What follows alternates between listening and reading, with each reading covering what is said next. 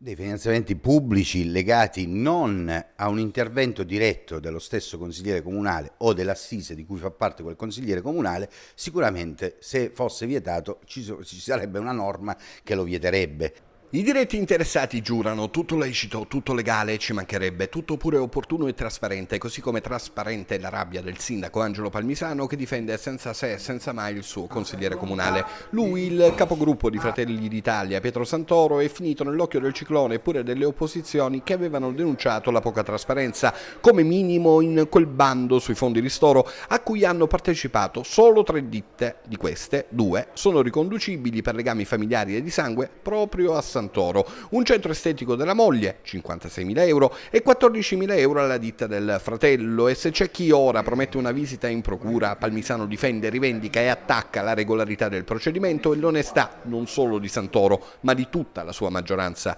Sulla questione delle opportunità e dell'opportunità politica, io ho anche ribadito e rientra nella sfera personale di ognuno di noi e non è giusto che sia io né a giudicare né a dire quello che eh, verrà fuori poi dal, da, da, questo dibattito, perché comunque prima di tutto nessuno si è appropriato di niente, perché partecipare a un bando pubblico fino a, a prova contraria non è un reato da parte di nessuno. Santoro, presente alla conferenza, prima ascolta in silenzio, poi risponde alle domande dei giornalisti confermando però un'onestà in primis intellettuale di chi ha semplicemente seguito da imprenditore un'opportunità pubblica e accessibile a chiunque. Per quanto riguarda l'opportunità politica, eh, mi riservo nei prossimi giorni di, di darvi maggiori delucidazioni.